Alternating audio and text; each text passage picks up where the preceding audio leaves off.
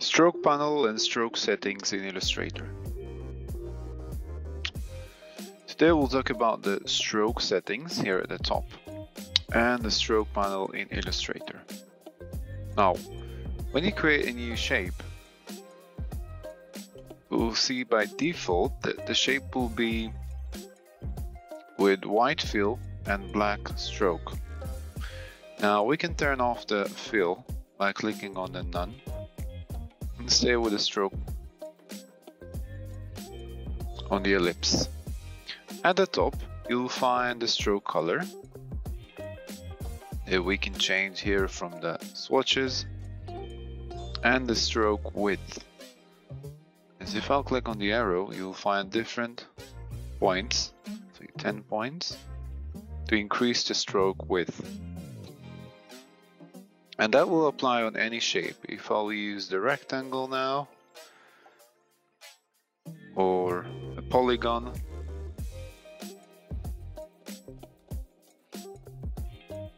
all of them will have the same stroke width and color. By selecting the shape with the selection tool, you can just change the color and control the width. Now you'll find on the right also the stroke panel. And if you don't see all the options, you can click on the small menu here and show options. And that will reveal the options of the stroke. Now we can find here the width or the weight here. You can also use the arrows to increase the stroke and a few more options. Now some of them will work only on the rectangle and not the ellipse and polygon.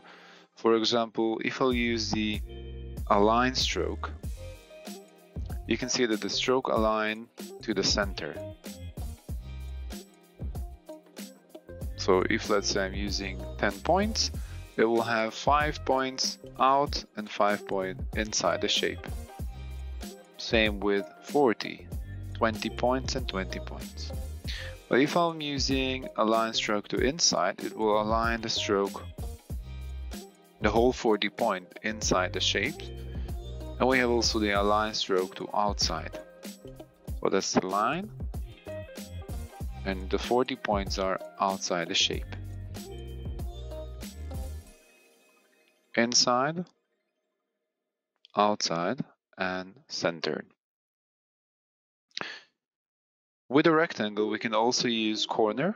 So as you can see now it's miter join, that's the corner. But I can also use round join or bevel. Make them a little bit round. And same thing with the polygon. Now you can also add dashed line Now it's 12 points and you can control the gap. So if I'll click 10, I'll have 12 points dash and 10 gap. If you continue, might change the gap each time for the stroke. If it's going to be the same gap, you can just type it here at the start, 15 and less gap. We're creating a dashed line.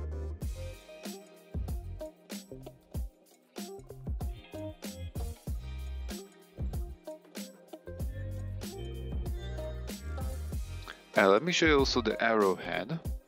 So let's say I'm creating a line, just a simple line without the dash. You can use the arrowhead. There are different arrows the list.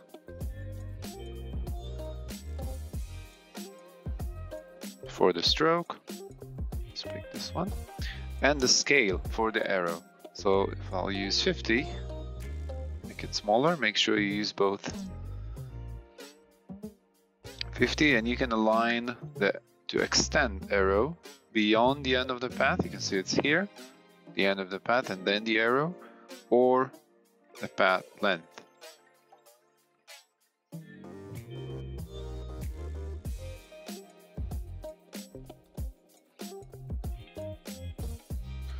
Last useful feature that we can use with a stroke will be the profile. So I'll create again ellipse. Let's use less stroke. Now I can use different profiles for the stroke. There are five profiles here, and you can see when I clicking when I'm clicking on the width profile one, just creating a new stroke profile, making it slightly different.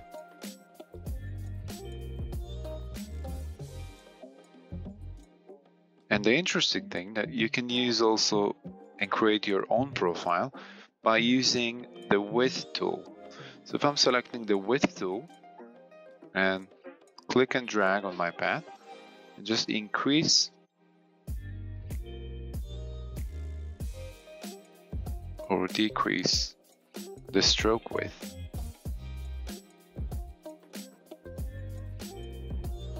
Also from here, that, that depends on the anchor point, it's recognizing the space between them. And you can see that it's creating a new profile and we can save it and add our new stroke profile to the profiles.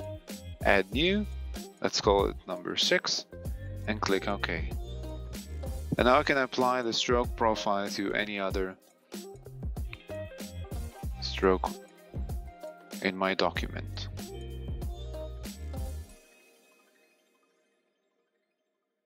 Now let's go back to the dash and show you the cap. So now we have this cap and if I'm using round, let's just increase the gap so we can see